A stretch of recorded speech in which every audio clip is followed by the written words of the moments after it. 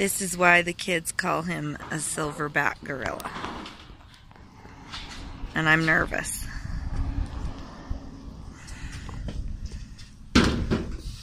How much did that weigh? 900 pounds. For real, how much? Probably 450, 500.